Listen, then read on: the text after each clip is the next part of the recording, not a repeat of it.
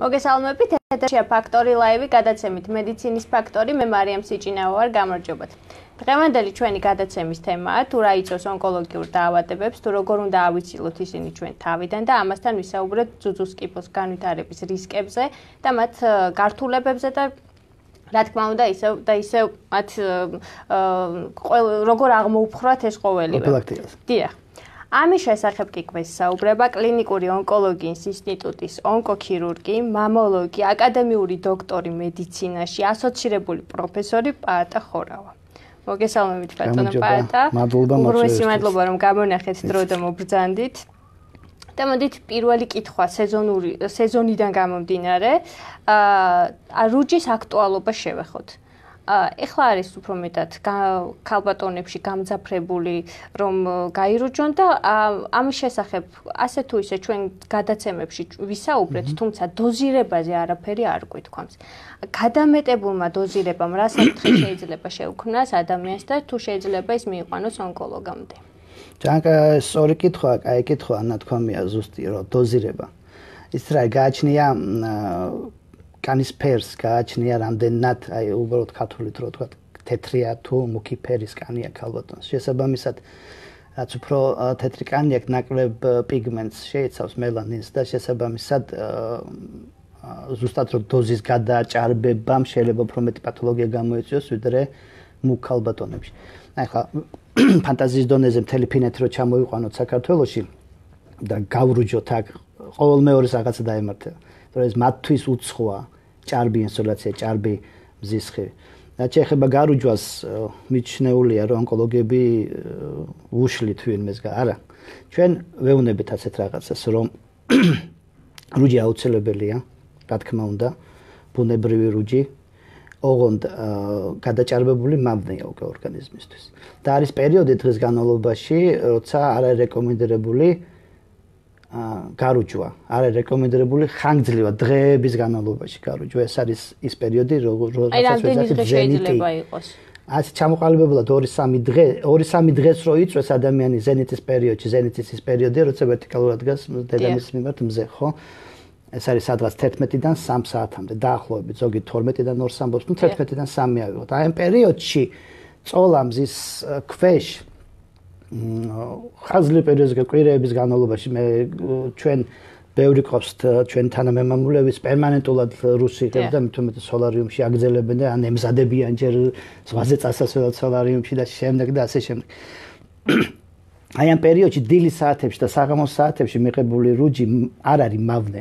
აქჩეულებრივი ფიზიკაა, როცა ადამიანი წევს და კუთხით მოდის მზის სხივი, აირეკლავს ადამიანის ორგანიზმში, როცა ზევიდან ვერტიკალურად პირდაპირ ეცემა. ეცემა ხო და ის მავნია გაცილებით, იმიტომ რომ კუთხი წამოსული მზის სხივის დოზა დავარქვათ, გამოსხივების დოზა, ინსოლაციის დოზა კლებულობს არეკლის გამო და როცა ვერტიკალურად მოდის, იქ რჩება და მოქმედებს უარყოფითად განზე. ხო, გარუჯვა აუცილებელია, გარუჯვა ნორმალურია, მაგრამ ჭარბი რაოდენობით განსაკუთრებით იმ ადამიანებს მე და მიმართო, ვისაც კანის რომელიმე პათოლოგია აქვს. განსაკუთრებით ასაკოვან ქალბატონებში და ბატონებში, ვისაც მოხუცებულთა კანის პათოლოგიები აქვს და ასეთი ძალიან ბევრია. არ მინდა ხა დავასახელო და ვინმე შევაშინო. მათ პირდაპირ ეუბნება დერმატოლოგი, კანის სპეციალისტი, რომ თქვენთვის არ არის რეკომენდირებული ჭარბაძის ქვეშ ყოფნა. სპეციალური დამცავი კრემები არსებობს, მალამოები არსებობს. შეთავაზობენ რო იარონ თავდაბრუნვა. დიახ, თავდაბრუნვა და ასე შემდეგ. ჭარბი რაოდენობით ინსოლაცია არის მავნე ორგანიზმისთვის. ზომიერად პირიქით.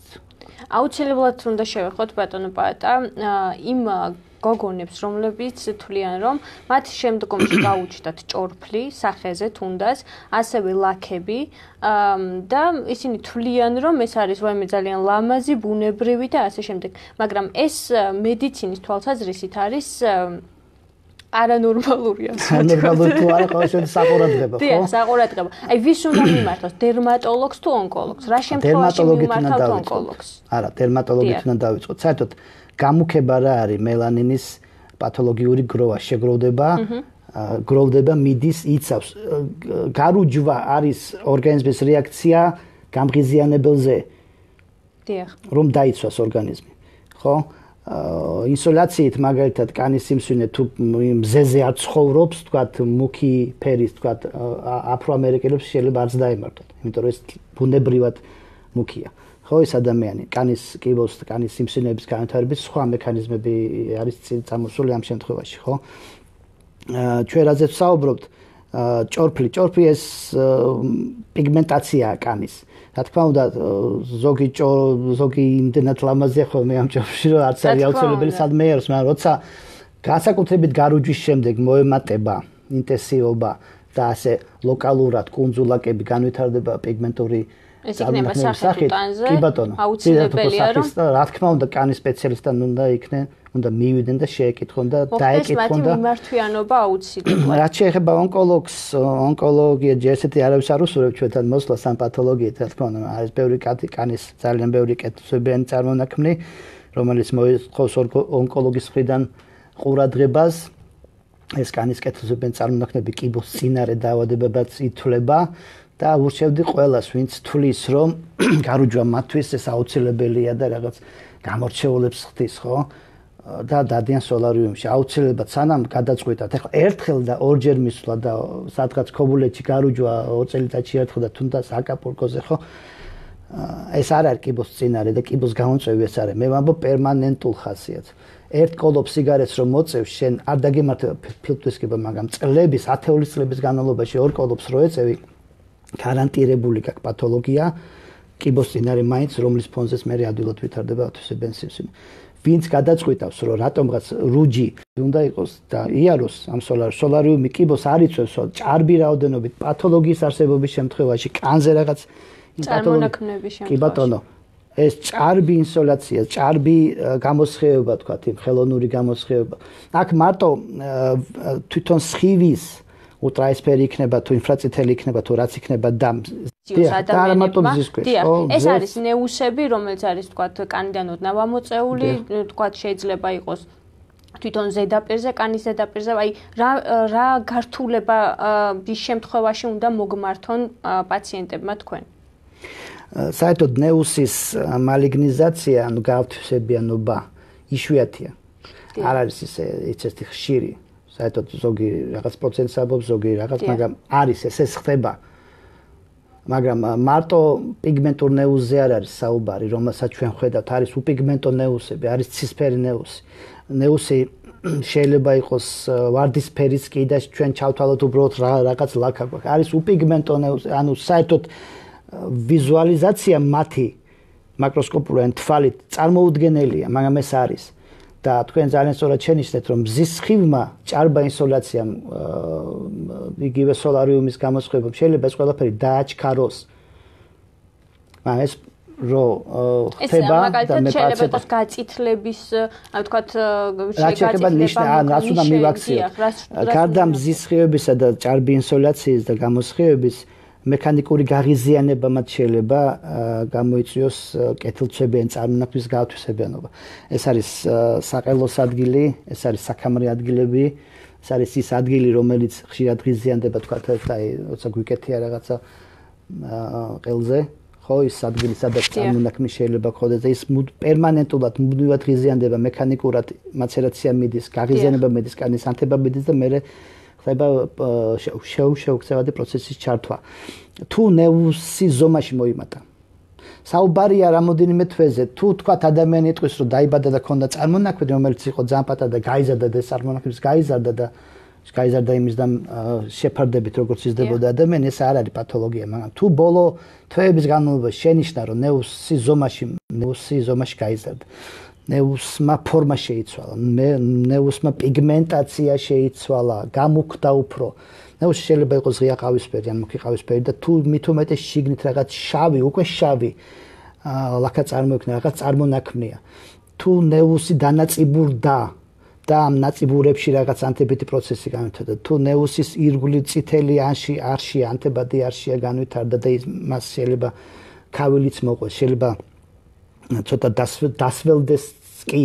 აი როცა დუგი დასველდება ქავილია და ნეუსი უკვე იშლება ეს უკვე ნიშნავს რომ იქ რაღაცა ხდება და ეს რაღაც არის პათოლოგია.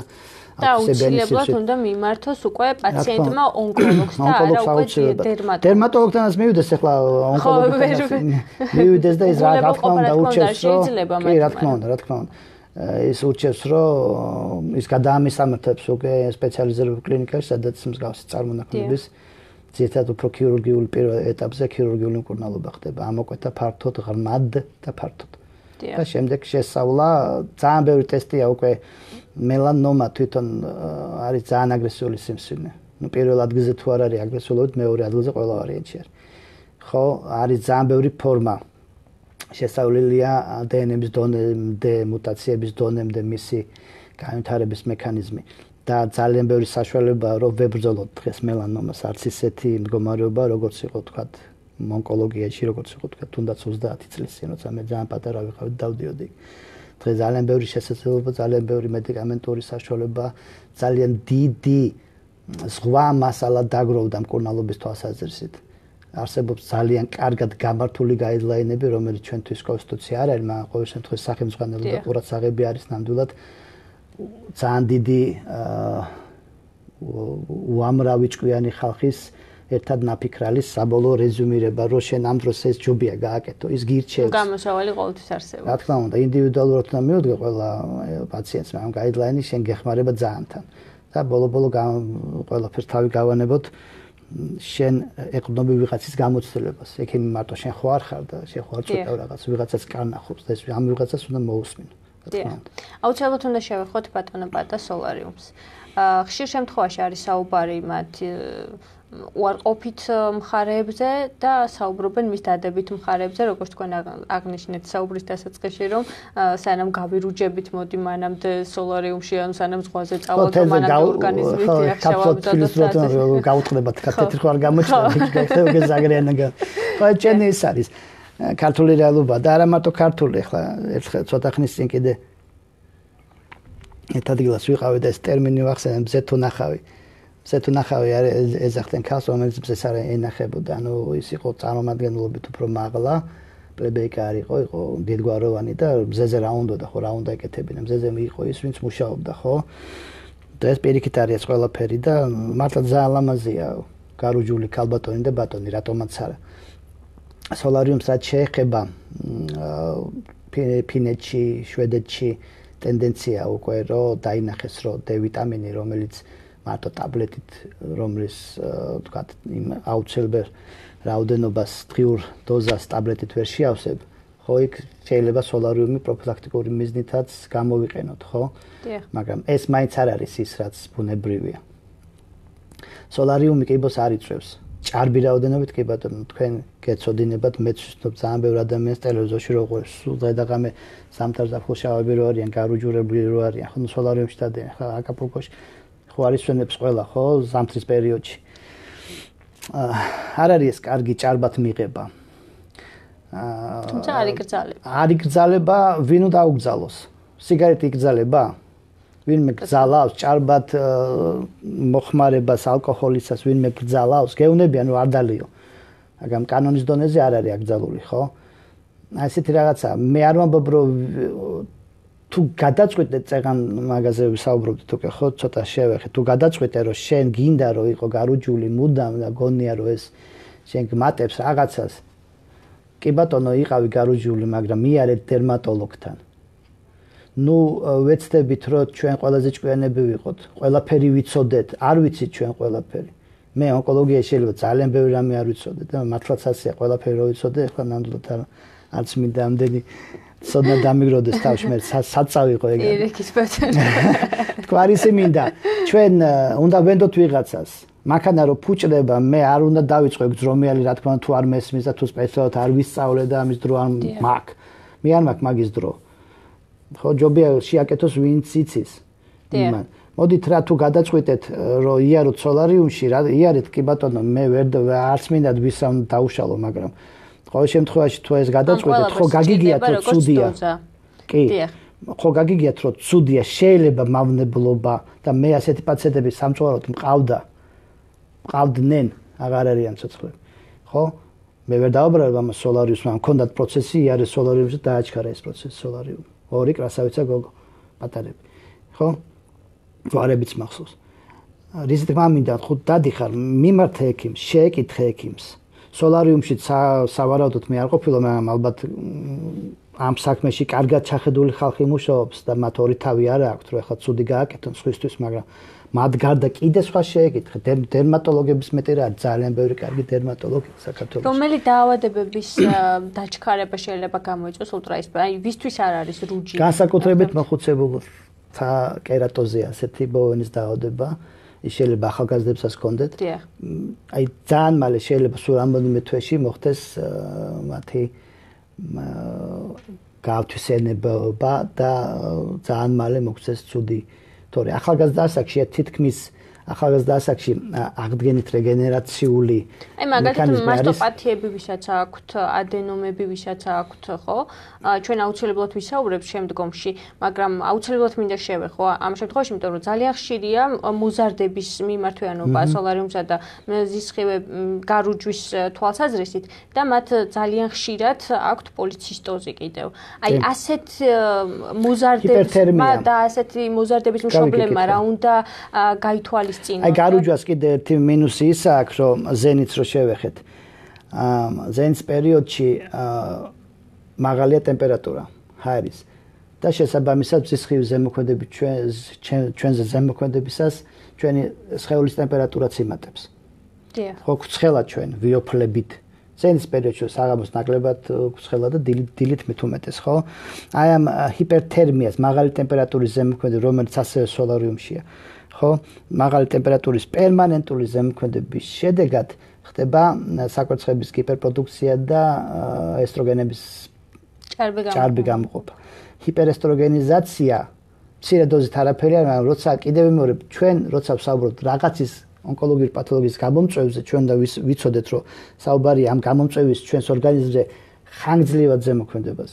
და როცა ხანგრძლივად ზემოქმედებს ჩვენზე ცუდი ფაქტორი, აგრესორი, ჩვენ წეგან დავიწყე და ვერ დავამთავრე, ჩვენი აღდგენით რეგენერაციული უნარი ოდესღაც გათავდება, ჩვენ ვეღარ მოუგებთ იმ აგრესორს, მით უმეტეს აგრესორი მარტო მზე ხო არ არის.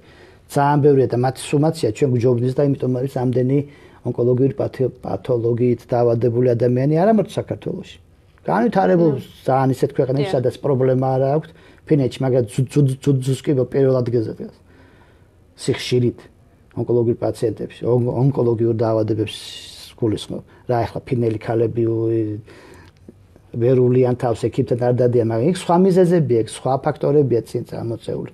და რა ეს ფაქტორები რა ჩვენ ქალბატონებს აქვთ, ხო? და შესაბამისად ეს ზემოქმედება უნდა დავიყვანოთ მინიმალურა, მინიმალურამდე ჰიპერთერმია, მაღალი ტემპერატურა. ხო? პოლიკისტოზას გამოიწვევს საკვერცხების ფიბროზულ კისტურ დაავადებას, კისტურ ფორმას ძუძუში და ფარისებზე ძალიან ცუდ მოქმედებს. ეს არის ის, რაც უნდა ავირიდოთ თავიდან. ჩვენ ხშირად აი გავიგებთ და უკითხავთ ჩემთვის და ბევრი ამბობს, რომ აი შეიძლება თუ არა იყიდო ჯანმრთელობა, შეიძლება. ჯანმრთელობა ავადმყოფობა გადაწიო. რამოდენიმე ახლა მე არ მინდა ყველაფერი ხამაღლა ვისაუბრო პირდაპირ ეთერში და საერთოდ ხალხს ეს არ მინდა შევაშინო. მაგრამ არის პათოლოგიები რომელსაც ჩვენ ვერ გავექცევით. ან ერთი დაგვემართება ან მეორე ან მესამე. ან მეოთხე ოთხი ძირითადი პათოლოგია არ მინდა ახლა ეს თქვა იმიტომ ჩვენ ცხოვრობთ ისეთ გარემოში რომ არ შეიძლება ან გიპერტეზია ვიტყვი არ ან გიპერტეზია არ კონდეს ან დიაბეტი არ დაიმართო ან სიმსივნე ან გუგუს სახლა დაავადების სხვა რომელიმე პათოლოგია ხო? ყველა ვარიანტში ასაკოვან ადამიანებში 4-დან ერთ-ერთი რომელიღაცას აქვს. აი, დაიწევს სიმსივნეებს. სიმსივნე ძალიან ბევრი რაღაცა ეწევს. აი რა არის? ძირითადად რაზე უნდა დიახ, რაზე უნდა მივაქციოთ და მაყურებელმა რაზე უნდა გაამახვილოს ყურადღება. აი ჩვენ გადავარდით ცოტა ხა იქეთ, ხო? დიახ. ძველ დროში. კონდათ სიმსივნეები. აბრაამის ცოლს სარას აბრაამის მითოლოგიურ აბრამს. ორ შემთხვევაში ბიბლიაში ასე ჩანს რომ ჰქონდა სწორნაწლავი სივსინე სივსინე ჰქონდა ძალიან ბევრ ადამიანს. ჩვენ მეფეებს ჩვენ დედოფალსაც ჰქონდა სიმსინე ერთ-ერთს ყოველ შემთხვევაში ვარაუდია ასეთი. ხო და არა ძუძუ სიმსინეზე საუბრობს. სხვა პათოლოგიაონკოლოგიური ხო დინოზავრებს ჰქონდათ სიმსინეები აღმოაჩინეს გათხრებზე რომ ოსტეომები ჰქონდათ ძulis ანუ დინოზავრის ჩვენ ძვალი შეგვჭე ახლა კუჩის კი მოქონდა თორე ვერ გავიგეთ მაგრამ ძვალი ხო გვიდევს ხო დინოზავრის ექსისინე ჩანს ხო? სიმსივნეა ყველაფერს. ყველაფერს რაც იბადება, იზრდება, ცოცხლობს და კვდება, რაც ეს დეზოქსირიბონუკლეინემი აქვს. რაც მრავლდება. ყველაფერს სიმსივნეა. აი სტაფილო რო ავიღოთ. და არის მიწაში ხო სტაფილო და იზრდება და პატრა სტაფილო ყავა და მე დიდი ხდება ხო? და მიწა რო გამოუთხაო და პლატინის ნემსი რო ავიღოთ. და ჩაურჭოთ. სადღაც შუაში.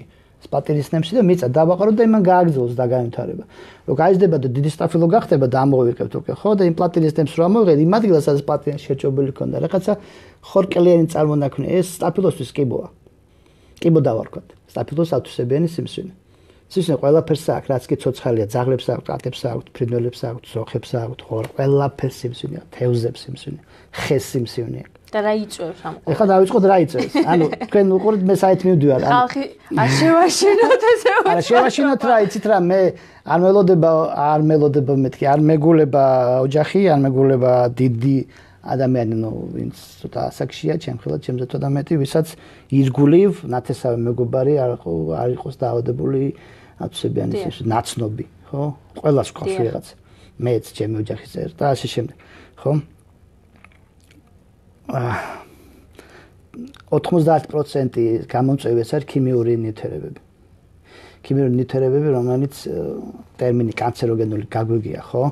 პირდაპირ თარგმანი კი კანცეროგენული კიბოს გამომწვევს ნიშნავს, კანცერი კიბოა ქართულად. მაგრამ ნუ მე ხარობ უფრო ტუმორგანულს, უფრო სიმსივნის გამომწვევს, ნუ ამ ნიშნულობა აქვს ხა ტერმინებს, ძალიან არ დაობნია ჩვენი მოსახლეობა. ქიმიური ნიუტრირებები სიმსივნეს იწვევენ. ხა ჩამოთვალოთ ის ქიმიური ნივთიერება, რასაც ჩვენ ვიღებთ. რაც აერში დაფრინავს და ბოინგი რო აფრინდება, დათვლილი აქვს ადგა ვიღაცა ამერიკელი 70-იან წლებში, მაგ მე წაკითხული ძალიან ბევრი მიმართულებით ლიტერატურა სამეცნიერო. ვიღაცა რომელიღაცამ დაითვალა რომ ბოინგი 740 რომელიღაცა 47-დან 717-იან ამნიშნულობა ბოინგი რო აფრინდება დიდი ბოინგი პატარა ბოინგია დიდი. რო აფრინდება იმდენ კანცეროგენს გამოყოფს იმ წვის პროდუქტს ნავთის საავიაციო ნავთის წვის პროდუქტში აი ხოიციან რომ თუ აფრენეშას დახარჯა 1 ტონა თქვა. დიახ. რაღაცა ტონა. შეიძლება 500 ლიტრი ხო? იმდენი კანცეროგენი გამოიყოფა ბოინგის ერთ აფრენაში და უკვე გასწორებაში, ხო? რომ ეს რო შევკრიბოთ 60 ადამიანს ხელოვნურად გამო განუვითარებთ კაქვეშ შეყვანის ან კანში შემყვავილის ან ფილში შეყვანის შემთხვევაში ათვისებიან სიმსივნეს. რამდენი ბოინგი აფრინდება დღეში? რამდენი ატომური ბომბი ააფეთქეს ამ სულელებმა? ხო 40-იან წლებიდან მიწის ზევით. მე მიხვდენ და 70-იან წლებიდან უკვე მიწის ქვევით რომ იქ სადღაც იქ წავიდეს ქვევით, ქვევით და არა ზევით. ის ქვევით რომ მედის საჩადის ხო ესე ხო რამდენი მილიონი ტონა ნაგავი გამოუშვა ძიმე მრეწველობამ ჰაერში. იმ დიდი მილებით. სად მიდის ეს? ეს ყველაფერი კანცეროგენულია. ჩვენ ამას ვერ შევებძოლებთ მაშინ ყველა უნდა დავდგეთ და უარი თქვათ ყველაფერზე რაც დაკავშირებულია მზეა მრეწველობასთან. უარი თქვათ ნახშირის მოპოვებაზე. უარი თქვათ ასფალტის დაგებაზე. ხო კაცროგენული ასფალტი. მე არ ვაბა. ჩვენ რა ვქნათ? ჩვენ ვერა ჩვენ ვქნათ, ჩვენ არ ვქნათ. ეხლა აი ზუსტად მაგ ძალიან კარგად მივხვდით ჩემას. იმიტომ რომ ეს არსებობს, ჩვენ ჩვენ ამას ვერ შეეწინააღმდეგეთ. მე ძალიან აი გულით იმ ხალხის მხარეზე ვარ, ვინც ეხლა იმ დღესაც ტელევიზორში ვიღაც გერმანელები აქტივისტები გრინპის გრინპის გენიოსები მუშაობენ. ვინც გულით მართლა იმას იბრძვის, რომ იქ ტოქსიკური სადმიდის ის ატომური ელექტროსადგურების შემდეგ ის რომ ვადა გასული არ დავარქვათ იმას ვადა ათეული წლების მერე გაზის მაგრამ ის ნარჩენი ნარჩენი ნაგავი პროდუქტი. გამონარეცხი მასა. სადღაც მიაქვს და სადღაც მარხავენ ის სადმიდის ხო? ეს ყველაფერი იწევს სიმსვენს თან 100%-ით იწევს სიმსვენს რადიოაქტიური ნივთიერება 100%-ით იწევს სიმსვენს კონტაქტი მასთან სულ რამდენიმე წუთი და შე გარანტირებულად დალევ მიკროგრამს გარანტირებულად ის კაცი რომ მოწამლეს რუსებმა ხო? ბონდოში დაალევინეს რაღაც მიკრომიკროგრამი. რადიოაქტიური ნიუტრების კიბო დაემართა თან ისეთი რომ ბრიტანეთში ვერ უშველეს ხო? ხო წარმოიდგინეთ ბრიტანეთში რომ უშველენ ეს ეგის არის ხო? ესეთ სერიოზული პათოლოგი აა ჩვენ რა ვქნათ? აი ჩვენ რა შეგვიძლია გავაკეთოთ? კარგი იქ დაფრინავს ბოინგი ხო? იქ დადის მანქანა. დიახ. ჩვენთან თბილისში. და უამრავ გამონაბოლ. ვაი, მე უამრავი არ ქვია, მაგრამ ძალიან ბევრი. ეს არის თან არ არ კლებულობს. რაც გინდა ჰიბრიდი ჩამოიყვანო, რაც გინდა ელექტრომანქანა ჩამოიყვანო, რა თქმა უნდა ეს კარგია და ხვალო და ყველა ელექტრომანქანით დავდიოდეთ, რა თქმა უნდა ჯობია. მაგრამ ეს ხო რჩება და თბილისში მგონი იმდენი მანქანა რა ქვია, იმდენი მოსახლეობა არის თბილისის გარეთ საქართველოში, ხო? ჩვენ რა ვქნა, ჩვენ რა უნდა გავაკეთოთ? პირველ რიგში მე რო ვიცი რომ აი ეს მავნია ჩემთვის და ამის აღება ჩემთვის პათოლოგიაა. მოდი მე ამას არ ავიღებ, ხო და ავიღებ იმას. თან მე ამას ექიმი მირჩევს. მეზობელი ტრაქტორისტი არა, ექიმი მირჩევს, რომ შენ მოდი ნუ მოწევ. თქვენ გინახავთ სადმე რომ ტრავმატოლოგი ეუნებოდეს ხალხს რომ მოდი აი ფთხილათი არის ფეხი არ დაგიცდეთ ხო ჩემ ბავშვობაში ანეკდოტი იყო რომ ზამთარში ტრავმატოლოგი გამოდისო დილითო წყალსას გაიყინოსო და ფეხი დაოცდესო და ასე შენ ხო? ამ ჩვენ ამას ვეუნებით. ჩვენ ხალხს ვეუნებით ჩვენ საკუთარ თავსაც ვეუნებით. ექიმი რომელიც თვითონ ეწევა ონკოლოგი ნუ თავს მართალი არ არის. როცა სხვა შეუნება რომ ნუ მოწევა როცა არ ეთქვის კი ბატონო მოწიოს და იმანაც იცის რომ პათოლოგიასთან აკასაკ ხო? ჩვენ როცა ექიმი გვეუბნება რომ მოდი შებოლილი პროდუქტი ხშირად არ მიირთვა. ეხლა მე დარწმუნებული ვარ რომ ყოველდღე არავინ არ ჭამს ლორს შებოლილს, ხო? შემწვარი კარტოფილიც კი მე სადაც კი ამას ვამბობ ყველა ეცინება და შარწვადი. სადი კანცეროგენ შეიცავს შემწვარი კარტოფილი. რას კი იწვება, რას კი შეიწვება, რას კი შეიბოლება. ის მიკრო მიკროგრამით კანცეროგენ შეიცავს. მე ხა ჩვენ რო წვაც მივირთმევთ, ხო? ხა ყოველდღე ვინ ჭამს წვაც? მაგრამ ხშირად მიღებაც არ არის სწორი. შემწვარ კარტოფილს მე ვიცი ძალიან ბევრი შეჩემს ყოველდღე. შემწვარიც უკვე ფაქტორია. იმ შემწვარშიც იმ მოხრაკულშიც დამწვარი ცხიმი. ხო საერთოდ მავნებელია მაგრამ ეგ ძალიან ხშირია ჩიფსები ბავშვებს აძლევენ ხოლმე ხშირ შემთხვევაში ჩიფსებს ფრიზ ეგრეთ წოდებულს ის პუჯანსავის ტრაქტის პათოლოგიებს გამოიწვევს პირველ რიგში. დიახ. ჩიფსი ახლა კანცეროგენული იმდენად ნამდვილად არ არის, მაგრამ ყოველდღე ჩიფსი რო ჭამო და ის პროდუქტი მიიღო, რაც იქ კუჩანსლავის ისე დაავადებას მიიღებ, რომ ბარე 2000 ბენზინზე ის იქნება რა, მონაგონი მასთან.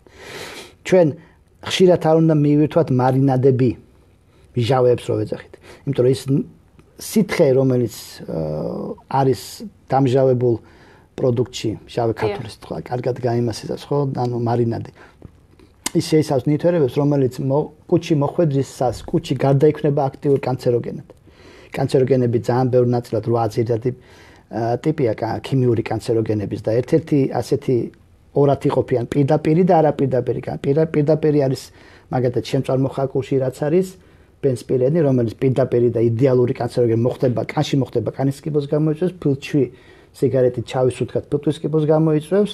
სესხში იმოძრავებს და მოხდება თქვა რომელიმე ორგანოში და კუმულირდება იქ ძვლის სიმსივნეს გამოიწევს საკვერცხეს კანცეროგენი რომელიც არის თამბაქოში მარტო ფილტვის და ხორხის კიბოს არ იწვევს იგი ის იგი არ შემოიფარგლება მარტო ამ არეალით იგი აგზელებს მოძრაობას ორგანიზმში და მისი მისი კონცენტრაცია სადღაც პათოლოგია უკვე ხო ჩვენ არ შეიძლება ხშირად მივირთვათ ცეხვეული პროდუქტი. სოსისი ბავშვებს ძალიან ხშირად აძლევს. სოსისი მოხარშული სახით ჯობია მივითას შეწვა უფრო აძლიერებს კანცეროგენებს, ხო? სოსისუდი კი არ არის, განა ის ხშირი მიღება. ხშირი მიღება. იმიტომ რომ იმ დამა პროდუქტი რომელიც თვეობით ინახება, იმაში ისეთი ნივთიერება, რომელიც ბუნებრივი არ არის. ბუნებრივი ფუჭდება ძალიან მალე, ხო? ეხლა ორი караკი რო შევიძინოთ, დავდოთ 2-3 დღე, ხო? და ერთი ამძაღდება, ესე იგი ეს უფრო ბუნებრივია, რომელიც არ ამძაღდება, ამძაღდებაც ძველი ქართული სიტყვა ესეთ, კვეთრი.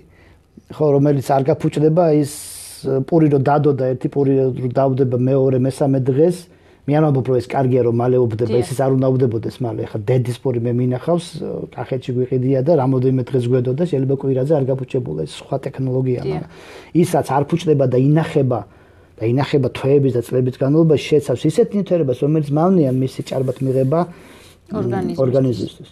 ხო, მაგრამ საგემონო თვისებებს რო ინახავს ის ნივთიერებები, რომელიცაც უშვებიან ემულგატორები და ორგანო ტკიბატონი შეიძლება, ხო? ა მათი ჭარბი მოხვედრაც პათოლოგია ორგანიზმისთვის. დაკვირებულ ხართ, რომ ერთიორად გაეზარდათ აა სამუშაო და პაციენტები აა კუჩნსლავის ტრაქტის სპეციალისტებს, ალერგოლოგებს. ჩვენ უკვე რას ჭამთ, რას სვამთ, რას ვიღებთ. უკვე ვინ აკონტროლებს? ჩვენ ვაკონტროლ ვენდობით.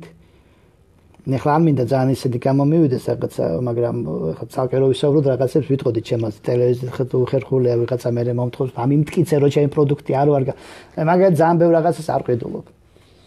ბევრ ბევრ პროდუქტს. აა მე შეიძლება შეიძლება რა ჩემ ბავშვს უკვე ვასწავლი და სკოლაში სასწავლიან რომ ეს მატონიზირებელი გაზიანი სასმელები ქიმიურად დამზადებული სასმელები ჭარბად არ მიიღონ თორე ხა თვეში ერთხელ სადღაც რო დალიოთ ჭიკა რა ფიან მოგიო. კიდე გიმეორებ ჩვენ საუბრობთ კანცეროგენეზე თვითონ კანცეროგენეზი სიმსივნის განვითარება წლების განმავლობაში ორგანიზმში. წლების განმავლობაში ვითარდება. ორგანიზმი ამ დროს ებრძვის მას, მაგრამ ოდესღაც ეს დამცველობითი მექანიზმი კლებულობს და ეს აგრესორი რომელიც ფართოდ არის ჩვენთან. გადამისა რომ ჩვენ სუნთქავთ ჩვენ დაუნებოთ სუნთქავთ იმ ხარ საწავარ ხა ეცნახს ვერ გავიკეთებ ხო? წყალსვამ საკვებით ვიღებ. მე ხო შემიძლია რაღაცა მე თვითონ არ დაბუმატო კიდე აი იგივე თამბაქო. ხო? თამბაქოს აუცილებლად შევეხებით ბატონო ბატა მაგრამ აი ჩვენ როგორ მოვიქცეთ მოქალაქეები თქვენი კოლეგა ვარ. აი მე რა გავაკეთო? იმისთვის, რომ ჩაულებრივმა პაციენტმა იმის პოტენციურმა პაციენტმა. პოტენციურმა პაციენტმა რომ თავიდან ავიცილო. და აუცილებლად უნდა შევეხოთ კიდევ იმას ვინც არიან, ვისი ოჯახის წევრებიც არიან, ვთქვათ ოჯახის წევრი იყო დაავადებული ონკოლოგიური დაავადებით, ასეთი ამ ადამიანებმა უფრო მეტად უნდა მიაქციონ ამ ყველაფერს ყურადღება, რომ მაგალითი ჰქონდათ და რისკის ქვეშ რაღაცა გარკვეული პროცენტები პროცენტულად გარკვეულწილად შეიძლება ეს მე არ მინდა რაიმე რაღაცა გარკვეული პროცენტები დავასახელო, მაგრამ ასეთმა ადამიანებმა უფრო მეტი ყურადღება უნდა მიაქციონ ჯანმრთელობას და ამ კუთხით. კი ბატონო. რა გავაკეთოთ? პირველი რაც ჩამოთვალეთ ეს მაქსიმალურად შევიზღოთ. დიახ. არის ახალგაზრდებში მიჩნეული, რომ აი რა მოხდება. ხარშული საკვები, ხილი. შემწვარიც მივითვათ, არ არის პრობლემა, აბსოლუტურად პრობლემა არ არის. რა თქმა უნდა ნაკლები. ეხლა ყოველდღიურად კიდევ მეორე ხა მწვადი ყოველ ადა ძალიან ცოტა ვიცი მე ადამიანი, რომელიც ძალიან ხშირად სვამს. მე ჭამს ამ პროდუქტს, მე ძალიან მიყვარს, მე თვითონ ვამზადებ. აა რა პირიქით. პირიქით აუცილებელიც არის რომ ეს პროდუქტი მიიღოს ადამიანს. ჭარბი რაოდენობით უკვე წყალი რო დავლიოთ, ჭარბად ეხა დავლიოთ 2 ლიტრა წყალი, რამ რა მოგვია უცებ. ხო, შევჭამოთ 1 კილოგრამი თუთა. აი ვინმეს გვიცდია 1 კილოგრამი თუთა, ეს კალციუმის მა გიპერკონცენტრაცია რომელიც დავკეთავ რო გეხვევა. ანუ ის უკვე პათოლოგიაა შენთვის. რა რა თქმა უნდა ეს მე გამოიდევნება ორგანიზმიდან და გათავისუფლდება ზედმეტისგან ორგანიზმი. ჩვენ მაქსიმალურად უნდა შევიზღუდოთ ის საკვები, რომელიც იწვევს სიმსივნის, რომელიც არის რისკი სიმსივნის განვითარების. განსაკუთრებით რაც მე ხომ ჩავთვალე შეწარმოხრაგული პირველ რიგში ეს არის პირის ღრუს საყლაპავის კუჭის მსხვილი ნაწლავის სიმსივნეების რაც ძალიან დიდ პროცენტს იკავებს აციბეს სიმსივნეებს. ძალიან მოიმატა პირის ღრუს სიმსივნეება. ძალიან მოიმატა ორი მიზეზის გამო ჩვენ პირის ღრუს სიმსივნის გამომწვევი მექანიზმი არის ფიზიკური და ქიმიური. ხო, ფიზიკური ეს არის ცხელი. ეს არის სასმელი, სპირტიანი. როცა ის ლორწოვანი პირის ღუდან დაწყებული ანალურ არხამდე ლორწოვან და ფარავში და ეპითელიუმს კუჭათლავის ტაქციის ორგანოების დიდი აღდგენით რეგენერაციული ყველაზე დიდი კანზე მეტი უნარი აქვს. ჩამოიფსქნება აღდგება უძლებს ჰიპერთერმიასაც ქიმიურსაც ცხელსაც ცივსაც ცივის კანცეროგენულია თქვენ წარმოიდგინეთ რომ ხშირად მოყინვა ერთიდაგივე ადგილას შეიძლება სიცოცხლე გამოიწვიოს ხშირად მოწვა ერთიდაგივე ადგილას. შემთხვევით მოეწვა მუშაობს სადღაც და მიაწვა მიაწვა და ის სიცოცხლე გაენტერდა ძალკე ერთ-ერთმა ავტორმა აღწერა მის საღლობის ხო ჩვენ რაც შეგვიძლია რო არ დავიმართოთ ჩვენ თვითონ შევძლოთ ეს. ჩვენი ნუ ვიყიდით ქუჩაში სადღაც ბებოროზი ჩაჭკალი ზის იმიტომ რომ უჭირს ხო ახლა მე სწორად გამიგეთ ხო ხო და ყიდის შებოლის რაღაცა თევს სად გაკეთებულს როგორ გაკეთებულს? არ ვიყიდე მე იმას იმიტომ კი არა რომ შემიძლია სხვაგან ვიყიდო ცოტა ძვირი. მადლობა რომ შემიძლია მაგრამ შენც ნუ იყიდი. ნუ იყიდი რაღაც გაურკვეველ რაღაც 9 ლიტრიანში ჭაჭა რო აწერი და 2 ლარი რო როგორია ჭაჭა 2 ლარი ყიდეს ხო?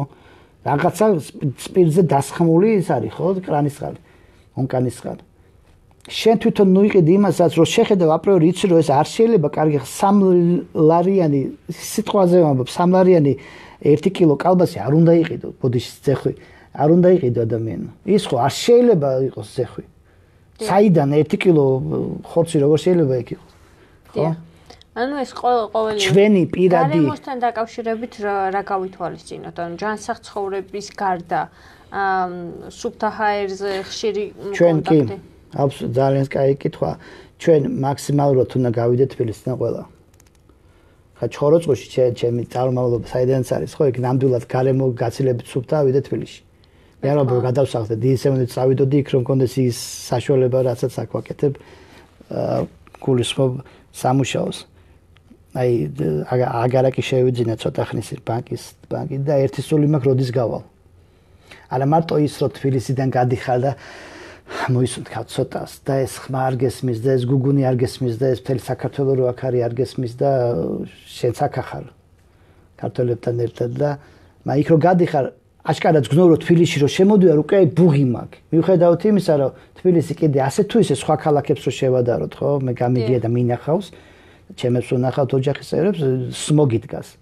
გამონაბოლქვი დგას და არ ი პრავეტრივაც როგორ არის? არ ხდება განიავება განიავება დიახ. ხო თბილისის შეხებთან შედარებით საშინელება ასევე მშობლები მშობლებმა რა უნდა გაითვალისწინონ იმიტომ რომ ძალიან ხშირად საუბრობენ ტყვის დალექვის შემთხვევაში ბავშვების შემთხვევაში რომ მოგეხსენება თქვენ რომ ძულებში აკუმულირდება და კანცეროგენული თქვენ კანცეროგენული. აი ასეთ შემთხვევაში მშობლებს რას ურჩევდით? როგორ მოიქცნენ და ბავშვები სად გაიყვანო? ხშირად ისევ და ისევ სუფთა ჰაერზე დატვირთოთ სპორტით და კიდევ რა შეიძლება რომ ეხლა ტყვიასაც შეეხება და ბავშვების ორგანიზმში ტყვის მოხვედრას. ხო ძალიან ესეთი ცოტა ხნის ბუმი იყო და ძალიან სწორი იქნეს ვინც ქნა ვინც დაიწყო ვინც პირველმა თქვა და ვინც აყვა და ვინც მიაქცია მას ყურადღება, იმიტომ საქმე ბავშვებს ეხება. როცა ბავშვს ეხება საქმე, ყველაფერი უნდა გადადო. ხა რაც შეეხება საიდანო დავიწყოთ ახლა. მე ცოტა ეს მესმის და შევთავაზებდი უფასოდ იმ მასრს რომ მოდი მიზეზები საიდან მოვიდა ტყვია ბავშვის ორგანიზმში როგორ შეიძლება ერთდროულად ამდენი ამდენ 1000 ბავშვს გამოიკვლიეს და დაადგინეს ხო? ეს ხო ჩვენი მოგონილი ხო არა? დიახ რომ უცება მაღალი კონცენტრაცია, ზე მაღალი კონცენტრაცია, კონცენტრაცია ორგანიზმში ტყვის შემცველობის, რომელიც კანცეროგენულია. იმ ტყვის გამოძევება კი შეიძლება თქვა აქტიური ჩარევით და თქვა გადასხმებით და ასე შემდეგ, მაგრამ ის უკვე როკომული და ღმად ზოლოვან სტრუქტურაში თუნდაც გენეტ კუნთებში, ხო, გენეტ თავისთვის. იმის გამოდენა ძნელია, შესაძლებელია. ანუ ჩვენ აღარ უნდა დაუმატოთ ახალი. ჩვენ მიზეზი უნდა ვეძებოთ. საიდან სათამაშო არ ვიცი. бенზინი, აი გამოვიდნენ ჭვიანი თვალები და გვითხრეს რომ ბეჟი თუმე ტყვი არ არის. კი ბატონ დაუჯერო, დაუჯეროთ. ხო რომ ამობს კაცი ხომ დაუჯერ. ჩვენ შემოწმების საშუალება არა გვაქვს. თორე მე ამჯერა ბოლომდე რომ ჩვენი бенზინი იმდენად სუფთა რომ ჩვენთვის ეს მავნე არ არის. ხო? საკვებში ტყვია. ხა სუნელში აღმოაჩინეს ტყვე, სუნეს რამდენს ხმაროთ ჩვენ?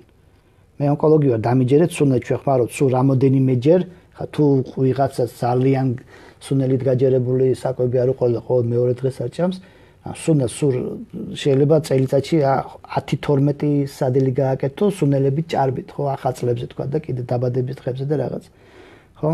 ვინც ხშირად ხმარობს კი ბატონო ის დაფიქდება სუნეში აღმოაჩინეს ტყვია ნუ არ მივიღებ ამ ტყვის სუნელს ბევრს მაგრამ არ არის არ არსებობს სუნეში იმდენ ტყვია იყოს თუ ჩვენი ჩვენს ორგანიზმში კონცენტრაცია მიაღწიოს რაც სუნელის წონაა საერთოდ ხო სხვა საიდან წყალი, საკვები, რამ რომელიმე ბავშვთა კბება, ყველა უნდა აი ბავშვის ორგანიზმში როგორ მოხდა ტყვია.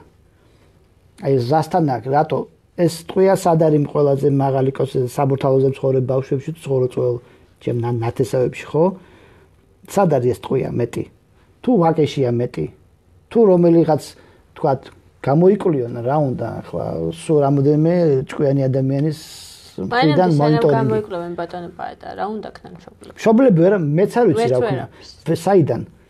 მე თქვია თეორიულად სწორად გამიგეთ, არ მინდა ვინმე შეიძლება წყალი რომ მოუშვა თბილისში, იმას თქვია მოყვებოდეს. მე რა ვიცი, წესით არ მოყვებოდეს და მჯერა რო არ მოყვება. დარწმუნებული ვარ რო არ მოყვება, მაგრამ ჩვენ მიზეზიდან დავადგინოთ. მე შიშველი ხელით მე შემეძლია გითხრათ, რომ მწვადი არ ჭამოთ, შემწარმოხაკული არ ჭამოთ, იმ კანცეროგენია. ეს ვიცი.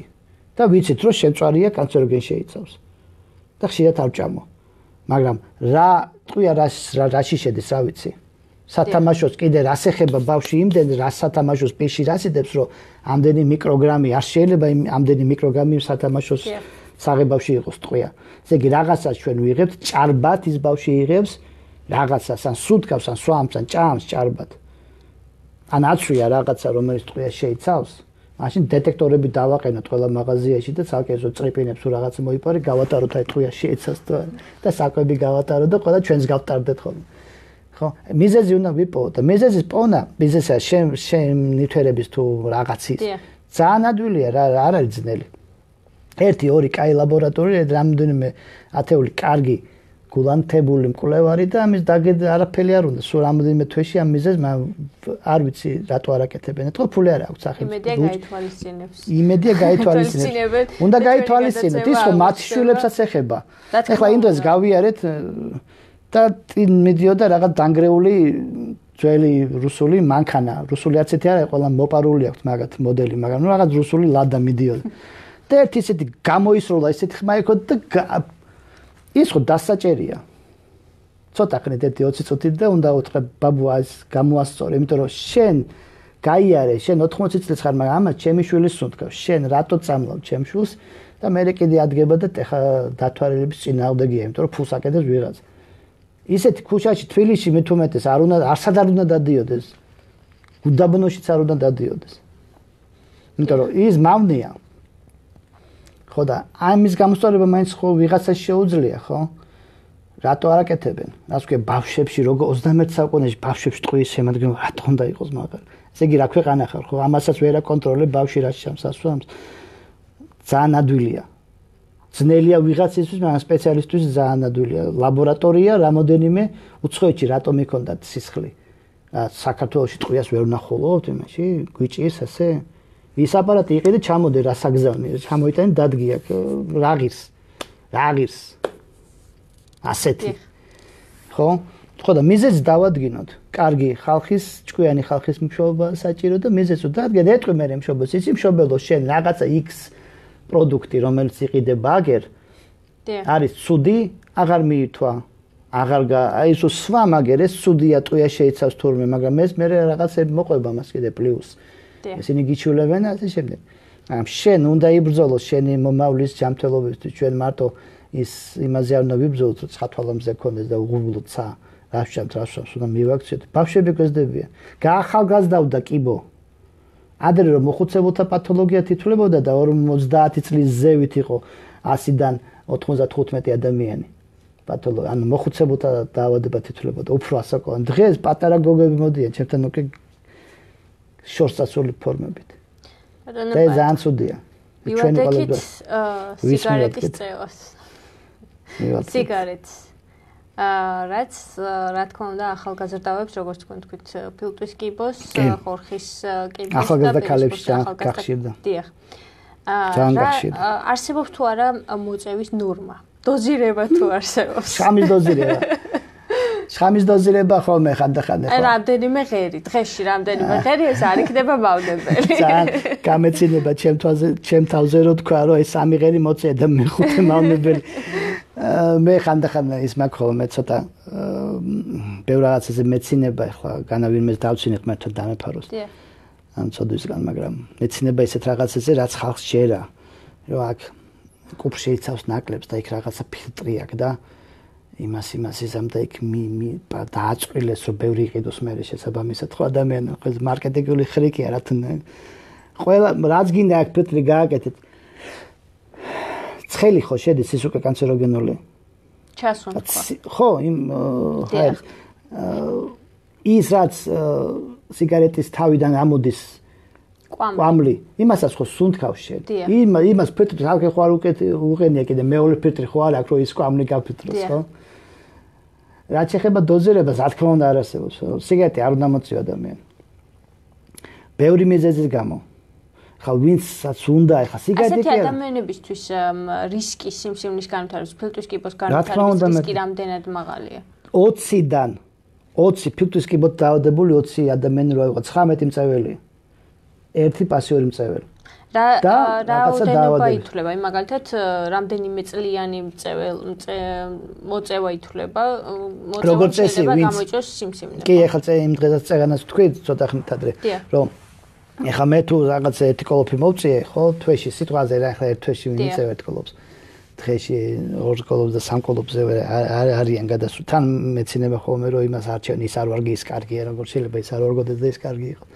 თქვენ მურაბას შეჭამთ, რომელსაც აწერია რომ კუჩის კიბოს იწვევს, კაკლის მურაბას იყიდი და შეჭამთ. ხო არ შეჭამთ, ხო? ყველა თამბაქოს კოლოფს აწერია რომ იწვევს ამ და ახატია კიდე ფილტიანი და ხორხის დახესტომიანი პაციენტი და ნუ მაინც ეცე ანეკდოტი რა ხო იცით ისე? სიგარეტი კლასო რო აწერია და მეორე სიგარეტს აწერია იწვევს იმპოტენციას. ის მომეციო მეორე რო კლასო ეს. ხო და აი ეს სასაცილოა მართლა. რა დოზირება არ არსებობს შეიძლება ადამიანი მთელი ცხოვრება ეწეოდეს და ეს სხვათა შორის ბევრისგან გამიგერო ბებია ჩემი ეწეოდა და 99 წლის მოკვდა. მაგრამ ის ბებია ერთი იყო და მე 90 ბებია შემიძლია დაუსახელო რომელიც ძალიან ახალგაზრდა ასაკში მოკვდა. ბებია ისე თქვი დიახ პირობით. პირობითად რა თქმა უნდა. რაცო დიდი ხანი ეწევი და ბევრს ეწევი მით უფრო გარანტირებულად ძალიან მალე დაგემართება ფოტოსინთეზის მაგრამ იმ ადამიანებმა ვინც თქვათ 10-15 წლის განმავლობაში ეწეოდნენ სიგარეტს და დაანებეს თავი აა ის კი რა თქმა უნდა ნაკლებია მაგრამ თუ იქ ჩანასახოვან პერიოდში უკვე მოხდა ნორმალური უჯრედის ბიოლოგიური ტრანსფორმაცია და გავთვისებიან და ის დაგანთვალებას მაინც განაგწობს ის მექანიზმი ჩაერთო. უბრალოდ ეს იქნება მოგვიანებით პერიოდში და არა ფილტვის სიმსივნეს აჩეხება ფილტვის კიბოს. აა 7-11 წელი 12 მორფოლოგიური ვარიანტი თუ არ მეშლება ფილტუსათვის ძირითადი ვარიანტი ფილტუსათვის ვენ სიმსონის და 7-11 წელი ჭირდება პირველი უჯრედიდან უკვე კლინიკურ გამოვლენებამდე პერიოდი. ანუ უცებ არ ვითარდება ეს სიმსონე, ნელა ვითარდება, წლობით ვითარდება. ადამიანი რომელიც ეწევა ბევრს და დიდი ხანი ეწევა, ხო? თავი რო დაიწყიოს, შეუძლია წელიწადში ერთხელ რენტგენი გაიგეთოს. რენტგენზე, დიახ, გუმკეთის რენტგენოგრაფია. გუმკეთის ან სხვა ორგანოების უნდა ინახოს, მარტო ფილტვი არა იქ. სხვა ორგანოების არის, ხო? უკვე 5 მმ-იან, 4-5 მმ-იან წარმონაქმს რენტგენი ხედავს და კარგი რენტგენოლოგი ხედავს.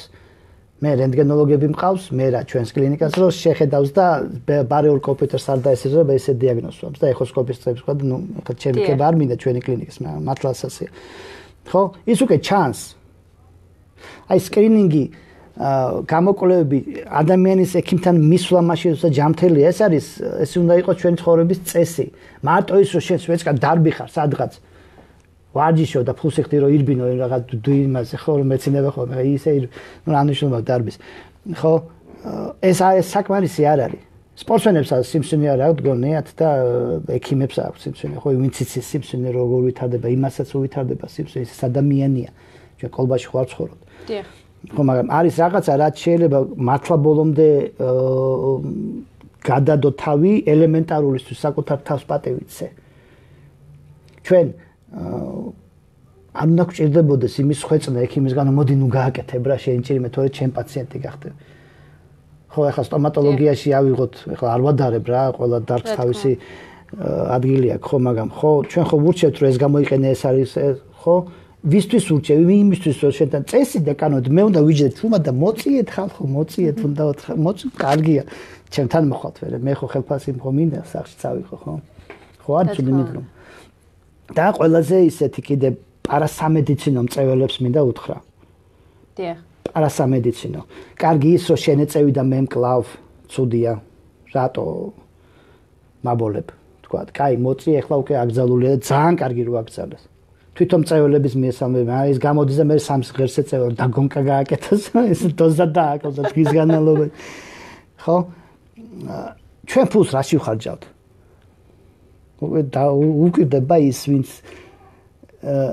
თან როგორ გაძვირდა ხო და მაინც ეწევიან მოწიონ. მოწიონ. მე ხომ შეიძლება დარჩები ცუდი იუმორია შავი მაპატიოს ყველა. ფულს ხარჯავს იმაში რომ ჩემთან მოვიდეს როგორც პაციენტი.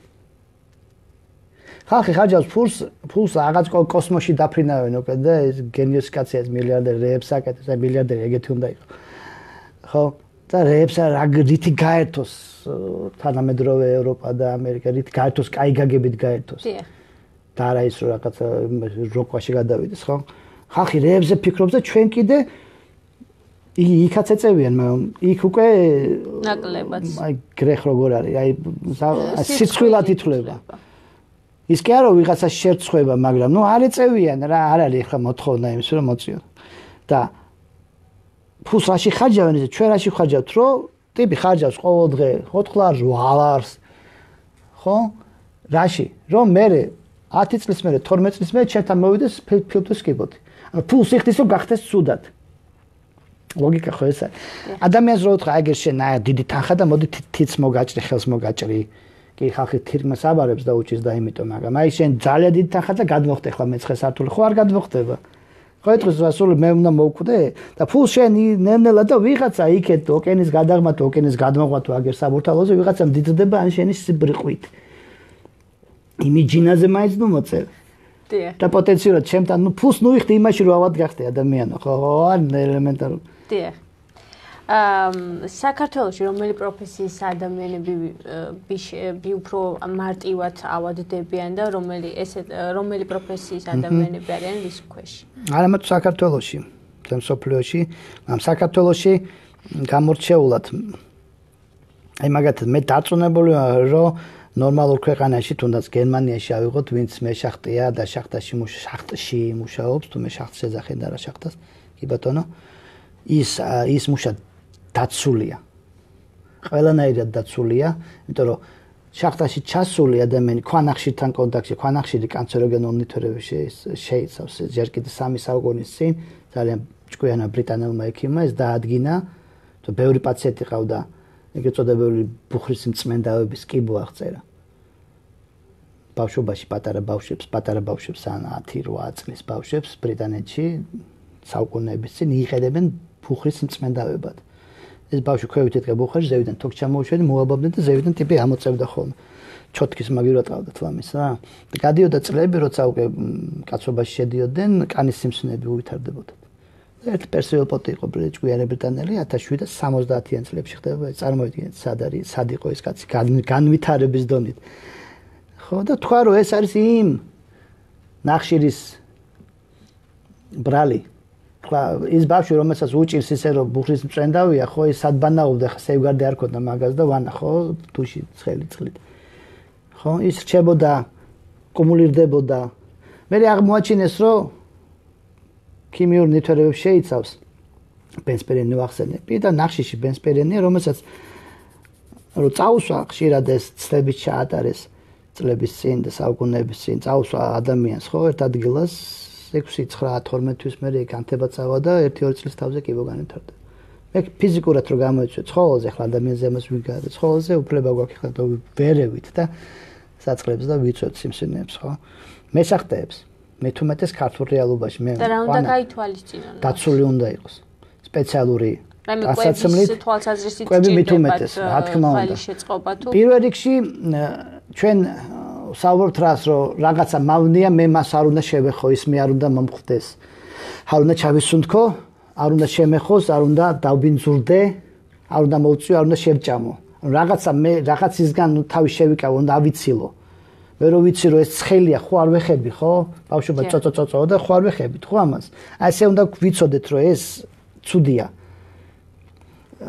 პირველ რიგში სპეციალური დასაცმელი, სპეციალური ასპირატორები ჩაცმა დახურვა, რომ მინიმალურამდე დავიდეს იმ გარემოს მავნეზე მოქმედება მეშახტეს ეს დადგენილია მე კი არა ბაბუაჩემი არ იყო დაბადებული მაშინ. ამას უნდა ასრულებდეს. უნდა ასრულებდეს ყველა ვინც ამ ადამიანს დაიქირავებს. და შენ რომ მუშახარ და გიჭირს და ცხოვრობ საქართველოში ეხლა ამერიკელ მუშებზე არ მაქვს, აი დაცულები არიან ასლაპარაკო. იქ რო ვიღაცას დაემართოს რაღაცა, კომპანია უხდის ყველაფერს. აქ მე ვიყავი ჩასული წლების წინ და ვნახე მათი მდგომარეობა და ნუ აი კინოში მე კინოში ზორო გაქვთ ნახი ბანდერასი რო თამაშობს და ერთი სიუჟეტი რო არის რო დიდი კარიერი რო არის რაღაცებს ოთხრიან და იქ დახეულები და რაღაც შავები და რაღაცა ის იყო და იქიდან ტიპი ამოდიოდა მეთქი რა აი მე ბევრი დიდი ხანი აფი არ მეკვეს, მაგრამ ნუ ეს შემეცოდა ის ტიპი. ამოვიდა ვესაუბრე მე და ვერ ხვდებოდა რაღაცებს. იცით რას ვერ ხვდებოდა? მას ეს ნორმათ მიაჩნდა. რა ვქნაო? რა ვქნა ხელფასი ხომ მინდაო ეს ადრე იყო ეხლა ალბათ გამოსწორდა იმედია მაგრამ მე შეხტები მაინც რისკის ქვეშ არიან მათი ყოველდღიური ურთიერთობა კანცეროგენთან მე და თქვენ შეიძლება მართლაც სამსახური კონდესო ჩვენ ყოველდღე არ სუნთქავდეთ კანცეროგენს. ისინი სუნთქავენ ეხებიან მურიანები გამოდიან. და ყובას რა თქმა უნდა და აუცილებლად მათი პროფილაქტიკური კვლევები პირველ რიგში ფილტვების იმიტომ რომ 6 თვიანი კვლევა იგულისხმება. 6 თვიანი შეიძლება და 4 თვიანი და 3 თვიანი მით უმეტეს ცოტა ასაკში თუ არის. დიახ. ასფალტის წარმოება ადამიანები ვინც საერთოდ ნავთობ გადამამუშავებელ სისტემაში მუშაობენ. ეხლა კიდე ისეა რომ აშკარად გაუნჯობესებული იქნება სამუშაო უსაფრთხოების წესები და კონტროლის მაღალი იქნება. მე მათ აი ესენი არ მინახავს მაგრამ მიჩნეული იყო ოდითგანვე რომ აი ამ ამ სფეროში მომუშავე ადამიანები ადამიანებს უფრო ხშირად ემართება თავის პენსიებს ვიდრე ადამიანები ვინც იქ არ მუშაობენ გარდა მაგისა მეზღვაურების სიმსივნე იყო საყვარელი სიმსივნე იყო კანის სიმსივნე მეზღვაურები მზის ქვეშ იყვნენ მუდამ.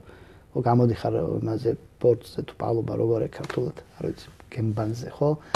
ამ მზე გაცხუნებს ხაშო ეს ცენტრს დაკვირვება ქონდა ჩემ უფროს კოლეგას რომ აი მზე სამეგრელოშიც და კახეთშიც ერთნაირად ანათე ანათებს როგორ აცხუნებს ხო მაგრამ მე რომ მეჩაიებს ამ ხელა დიდი სომბრერო ახუროთ და კახეთში პატერკუდი აკადეთო და ხალხო ეს კანის სიმსუნები უფრო ხშირად არის კახეთის რეგიონიდან. სახის მიდა მოაძირითადად კანისათვის პენსიებს და მოხუცებულობის ხვედრია ხოლმე. ბებიებს და ბაბუებს კი სამწუხაროდ. დიახ და ბოლო კითხვა ბატონო პაატა აა შეიძლება თუ არა თავიდან ავიცილოთ ონკოლოგიური დაავადება კი. ბოლომდე ვერ ავიცილთ იმიტომ რომ მე ხარ მინდა ვინმე შევაშინო მაგრამ ჩვენ ისეთ გარემოში ცხოვრობთ, რომ ამ ეს ზემოქმედება ყველა თითოეულ ჩვენგანზეა. ბოლო-ბოლო ძალით ვიღებთ რაღაცებს, ძალით სვამთ რაღაცებს, ძალით ჭამთ რაღაცებს. ეხლა მაგალითად იგივე ენერგეტიკული სასმელი, რომელიც ჭარბად შეიცავს ისეთ ნივთიერებას, რომელიც ორგანიზმის ძალებს გამოფიტავს, იწვევს ჰიპერესტროგენიზაციას, ჭარბი რაოდენობით კოფეინი, მე არ მე არ არ ვეუბნები ჩემ პაციენტებს, ალბათონებს, რომ ჭარბად კოფეინს ყავას ნუდალევენ დღეში 8 ჭიქას. მავნეა. ერთი რვაჭიქა არა. აი 100 რვაჭიქა რო შეგროდება და 1000 რვაჭიქა რო შეგროდება ეს არის მავნე. მithumet ის ყავა ხა ჩვენთან რა შემოდის ხო? ნამდვილად არ არის ხარისხის ხო? იმ ხარისხის და იმიტომაც ვსვამთ რვაჭიქას თუ ნორმალ ყავას რვაჭიქას ვერ დალე მოკვდები. ერთი საკმარისია ტონუსისთვის. ჩვენ შეგვიძლია გადავწიოთ ეს ჩვენ შეგვიძლია გავაკეთოთ ისე რომ მართლაც არ დაგვემართოს ათვისებენ სიმსინე მე ბევრი ადამიანი მინახავს რომ აი წამალი ადამიანები არასდროს ცუდად არ გამختار, მაგრამ სიფსინე მაქვს. იმის მიზეზები სხვა არის, რომ ჩაურმავდე ყოველას მიზეზს სიმსინე მიზეზის გარეშე არ არსებობს. ერთადერთი გამონაკლისია ძალიან ღმად მოხუცებში დემეთილირება ეს ტერმინი გენეტიკური ხდება ისეთ ცვლილებები სპონტანურად ხდება სიმსივნის გარეთ მიზეზს გარეშე იმიტომ რომ დნმ შიგნით ანუ უჯედის შიგნით ბირთვის შიგნით მიდის ისეთი პროცესი რამ რასაც იმ ბირთვის და დნმ-ის განახლება, რემონტი, რეკონსტრუქცია ქვია რო გავიგოთ, ხო? და ეს უკვე სიბერეში უკვე ეს დამცველობითი მექანიზმი, ბირჩვი და დნმ-ის დამცველობის მექანიზმი მინიმალურამდე და იმიტომაც ბერდებით, იმიტომაც გვემართება უფრო ხშირად პათოლოგიები და მათ შორის სიმსინე სპონტანურად შეიძლება სიმსინე განავითარდეს ადამიანს. ექსპერიმენტი ჩაატარეს წლების, ათეული წლების წინ თაგვების შეკრიბეს და შეუქმნეს 64. ანუ ამ თაგვებს არაფერი არ აკდათ ის მელი ეკარ დარბოდა, რა ქვია, კატა ეკარ დარბოდა და განათება ქონდათ, საჭმელი სასმელი ქონდათ, მიაღწიეს რაღაც პოპულაციას და მე დაეწყოთ სპონტანურად სხვადასხვა პათოლოგია მათ შორის ათვისებიანის ეს ახლა ცოტა ძნელი მოსასმენია, ძლია ახსაქმელი ადამიანისთვის, ვისაც ვინც ორგანიზმის ბიოლოგიურ თავისებურებაში არ არის გათვალისწინებული და არ წაუკითხავს რაღაცა ხო, მაგრამ ეს მოხდა.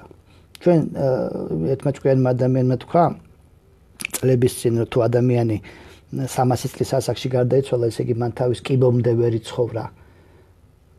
ათვისებიანი სიმსინე ძალიან პროგრესულად მატულობს. 12000-ზე მეტი პირველადი შემთხვევა 3 მილიონიან საქართველოში. თუმცა ამის საფიწოდეთ მინდა თქვა, რომ 54000-ზე მეტი ადამიანი ცხოვრობს საქართველოში, ვინც დაამარცხა ავთვისებელს, ისინი ცოცხალია დადის პროფილაქტიკურ კვლევებს. კი, ბო განაჩენი არ არის. განაჩენია მესამე მეოთხე სტადიაზე, რომ მოდიხარ მე ბრძოლოთ, მე ვჭიდაობთ, თუმცა მეოთხე სტადიის სიმსივნიდან გაკურნალებ ზოგიერთი პათოლოგია, იგივე კანის სიმსივნები, წაველი არსებობს დაავადება, პარისელის პათოლოგია, რომელიც შეიძლება რემისიაში გადავაგდო და 10-12 წელი ცხოვროს ძალიან დაგვერებული ფორმით მოსული პაციენტი. ნაადრევ სტადიაში მოსული პაციენტი, პირველ სტადიაში მოსული პაციენტი ხო 95-98 პროცენტით განკურნებადია 100%-საც ვახცევთ რამდენიც გინდათ. ამისათვის უნდა გავაკეთოთ ერთი რაღაცა, ერთი უბრალო რაღაცა. ძალიან უბრალო. ხშირად იციან ხომ მექიმება რომ მიაქციეთ ყურადღება ამას და აი ეს აქ აქტივდება ესე იგი ეს არა ექიმებთან ვიაროთ, ექიმთან ვიაროთ. ბევრი საშუალება, კიბო სკრინინგი ახლა სკრინინგის აპოლოგეტი მე არა ვარ და მით უმეტეს რეკლამას არ გავუწე, ძალიან მაგარი რაღაცა. ამაზე კარგი ონკოლოგიაში ბევრი არ მოუგონია მეცნიერებას და მეცნიერებს. ჩვენ უნდა ვიაროთ ექიმთან, უბრალოდ ავდგეთ, მივიდეთ ხოლმე. აი არაფერი არ მჭირს ხო, არ ნიშნავს. აი ექიმო არ მტკიოდა. ტკივილი არ არის კიბოს სიმპტომი. ფილტვის სიმსივნის ტკივილი არ აქვს. მესამე სტადიასაც კი თუ ძვალში არ ჩაიზარდა პრევრაში სიმსივნე არ განვითარება, ღვიძლის სიმსივნის ტკივილი არ აქვს, ღვიძლის კაფსულა არ დააზიანა. ძუძუს სიმსივნის ტკივილი საერთოდ არ აქვს. თუ არ ჩაიზარდა კიდე კონცა შორის და ძვლებში ხო ტკივილი არ არის ნიშანი რომ შენ უნდა მიხვიდე ექიმთან. არ უნდა ველოდო თუ ტკივილი განვითარდება ანა დავждდეველოდ ექიმთან უნდა ვიაროთ. უბრალოდ უნდა ავდგეთ და მივიდეთ. მით უმეტეს რომ ძალიან ბევრი ძირითადი კოლევები დიაგნოსტიკური საშუალებები უკვე ხელმისაწვდომი კი არ არის. უფასოა. ის საშუალება რაც მე მაძლევს რომ პირველად ეჭვმაიც მივიტანოთ სიმსივნურ პათოლოგიას, ჯობია იმ ექიმს იმ სკენში მომუშავეს იმ კერძო სტრუქტურაში მისულ პაციენტს სამივე კერძო სტრუქტურაში ექიმთან იმას ცოტა შეეშალოს და გიპერდიაგნოსტიკაში წავიდეთ და რაღაც. ჯობია ეს ვიდრე ის რომ არ მივიდეთ ექიმთან იმის ზოგადად დაგვიანებულ ეტაპზე აღმოვაჩინეთ სამწუხაროდ დიახ სამწუხაროდ დიდი პროცენტი დღესაც კი 21 საუკუნეში ასეთი რა ვიცი მგონი განვითარებული ერად ვითოლებით ხო გონებრივად მაინც კი ხა ის ტაკებს თუ ვერ ვაკეთე და კოსმოსში თუ არ დაფრინათ ხო ჩვენ ტაკებსაც ვაკეთებ ტაკებს ვიც აკეთეს ხო მართალი ზანდეთ და ჩვენ მაინც ხო უნდა მივხვდეთ რომ ეს ჩვენთვის კეთდება. ათვისებენ სიმსი დაავადებულები ახსენეთ და ის ოჯახის წევრებისთვის ის სოციალური პრობლემაც იყო. ის კი არო ფული ეხარჯებოდათ. ითრგუნები ადამიანი. შენი ოჯახის წევრი რო ყავს ცუდად, კიდე სამდღიანი ვირუსი იყოს, ხო? ენტეროვირუსი. ცუდად ახარ უკვე. შენ შენ თავს არ ეკუთვნი, შენ ვეღარ მუშაობ, ქვეყანასაც თუ ხალხს თუ ვერ გამოადგები ასეთ მდგომარეობაში ისე როგორც იყავი 5 დღით ადრე, ხო? ეს სოციალური იმდენად ღრმა პრობლემაა, რომ არ არის მარტო სამედიცინო პრობლემა, არა მარტო ათვისებელს, ნებისმიერ სხვა პათოლოგია ქრონიკულად რა ათვისებიანია მარტო პირველ რიგში მე შემიძლია ჩამოგიტყოთ ძალიან ბევრი პათოლოგია, რომელიც დღესაც არ იკურნება. კიბო არ ქვია მათ. არ იკურნება, უბრალოდ არ იკურნება. ძალიან ბევრი პათოლოგიის მიზეზი დღესაც ბოლომდე დადგენილი არ არის. არა ონკოლოგიური პაციენტი, ჩვენ მოლეკულის დონემდე ვიცით, სიმსივნე როგორ ვითარდება. მთელი გენური მუტაციის ციკლი ვიცით. რასაც გავიდა დღეს პრეპარატები გამოდის ზუსტად ამ გენური ცვლილებების საწინააღმდეგო შემაჩერებელი დამთრგუნველი. ძალიან შორს არის მედიცინა ონკოლოგიაში და არა მარტო ონკოლოგიაში, მაგრამ ოსა პაციენტი მეოთხე გენერალიზებული ფორმით მოდის და თავის ტვინში მეტასტაზები აქვს, და მთხოვს მე რაღაცას, ხო? თან პედაბი შემოდის და წარს მიწევს და მეუნება რომ გარანტია, რა გარანტია. სადიყავი? რავი, ამტყიოდა. და მოდის კანში ჩაზდილი ინფიცირებული სიმსონით, ცუცუ სიმსონით შემდეგ ახალას და გოგო ქმარი მოყვება ჩვენ თვალებით. დიახ. მე მაყურებელს ვეტყვი რომ ჩვენ შემდეგი გადაცემა იქნება ცუცუს კიპოს შესახებ. აა ძალიან დიდი მადლობა მოგეთ. არაფერი დიდი მადლობა. აა ნამდვილად მონუსხული გისმენდით მთელი გადაცემის განმავლობაში და მაყურებელს მომდევნო გადაცემა შეიძლება კვლავ ძალიან საინტერესო გადაცემა ცუცუს კიპოს განვითარების რისკებთან და თავიდან აცილების რა თქმა უნდა შესაძლებელად ვისაუბრებთ ჩვენ ამაზე. მე შეგახსენებთ, რომ ჩვენ ჩვენი დღევანდელი გადაცემის სტუმარი იყო კლინიკური ონკოლოგიის ინსტიტუტის ონკოქირურგი, მამოლოგი, აკადემიური დოქტორი მედიცინაში, ასოცირებული პროფესორი ბატონი პაატა ხორავა. მე მომდევნო შაბათამდე გემშვიდობებით, ნახვამდის.